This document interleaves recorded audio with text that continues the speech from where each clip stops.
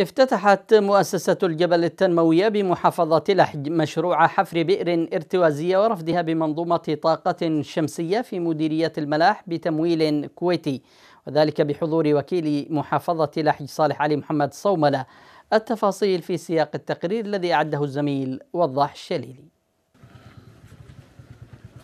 دشنت مؤسسة الجبل التنموية مشروع حفر بئر ارتوازية ورفدها بمنظومة طاقة شمسية. بتمويل من فاعل خير بدولة الكويت الشقيقة. وكيل محافظة لحج صالح علي محمد صوملة ثمن المواقف الأخوية للأشقاء في دولة الكويت الشقيقة على دعمهم مثل هذه المشاريع التنموية التي ستخدم سكان عشر قرى نائية في منطقة الملاح بمحافظة لحج يعانون من عدم توفر مياه صالحة للشرب. سعادة بحضور اليوم هذا التدشين مشروع مياه القبلة ودار الدولة والغرى المجاورة وسعداء أن نشارك هذه الفرحة الذي تمس هموم المواطنين شربة المياه كونها هنا يعني صعوبة المياه. وهذا مشروع حيوي صراحة يستحق كل التقدير. المقدمة ونشكر كل الجهود الذي سعى لإنجاح هذا المشروع. لما له من أهمية في حياة المواطنين.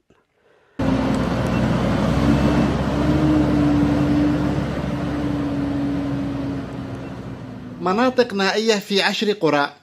هي الجبلة والبرح والثعلب والمقضاب والشجير والعجف والمحنبة وكود مجحلة وقرية سريع ودار الدولة.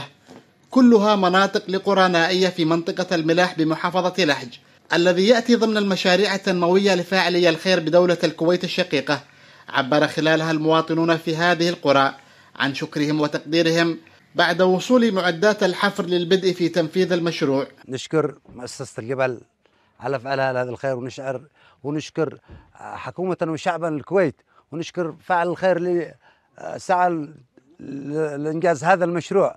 واليوم هذا نحن في في في في أكبر سعادة للمشروع هذا لأننا نتمنيه من زمان هذا المشروع لأننا متعوبين بسبب المياه. تدشين حفر البئر في هذه المنطقة النائية وتزويدها بمنظومة طاقة شمسية تأتي في إطار مشروع الاستجابة الطارئة للمشاريع الخدمية التي تنفذها مؤسسة الجبل التنموية وتستهدف قطاع المياه. ومنها هذا المشروع الذي جاء بعد مناشدة أطلقها سكان هذه المناطق الذين هم بأمس الحاجة إلى تأمين مياه صالحة للشرب. لقناة عدن الفضائية وضاح الشليلي محافظة لحج.